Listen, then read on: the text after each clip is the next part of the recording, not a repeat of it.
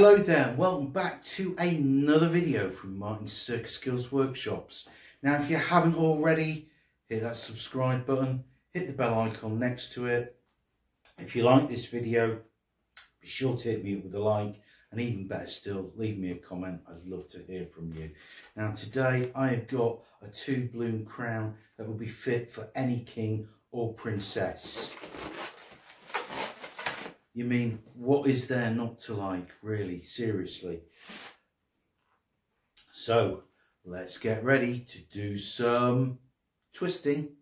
We're gonna do the twist and it goes like this. Come on, let's twist again. So, for this design, you need two 260s. You need to choose colours that contrast. So, I'm going to choose a red and yellow. I'm going to use the yellow for the bottom part of my crown the red for the top part. And you need to leave about six inches uninflated. Get away with a little bit less. I think that's about five inches. You should be okay. So start with start with the bottom of the crown so start with the knotted end. You're going to do a one finger bubble. And then just pinch twist that into the end and squeeze and then about a three finger bubble. And then another one finger bubble. Pinch twist that. And you're going to do another two of these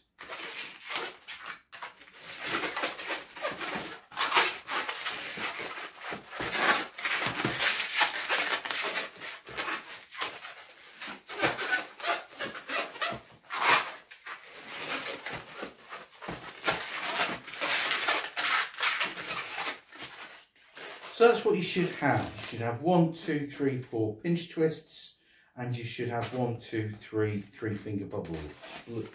Three, three finger bubbles. Um, and then you just want to take this moment, to whoever you're doing this design for, just sort of measure up. Make sure it's a nice snug fit, but not too tight. So I need to make my twist about here. I'm just going to wrap it around this first pinch twist that I did.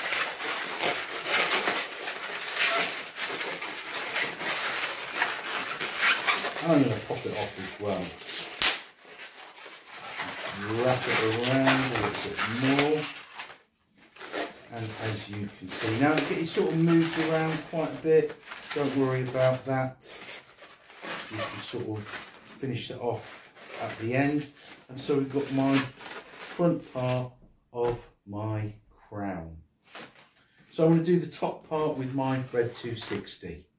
So I'm going to start at the knotted end again and I'm just going to either start at this end or this end. I'm going to start at this end and just wrap that around two or three times so it's nice and secure. And now what I'm going to do, I'm going to do sort of a four finger bubble and I'm going to do a one finger bubble and I'm going to pinch twist this bubble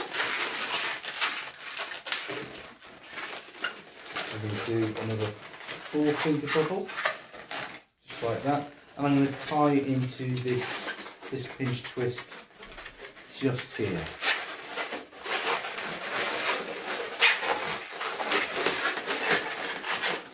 And then I'm going to just do the same another couple of times.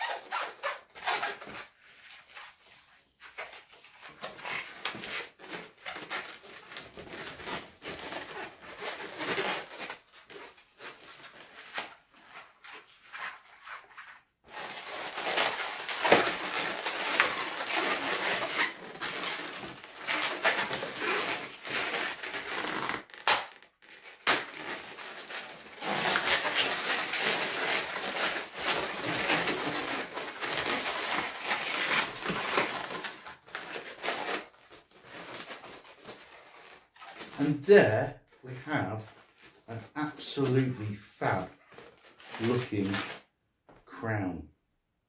You're ready for the big day.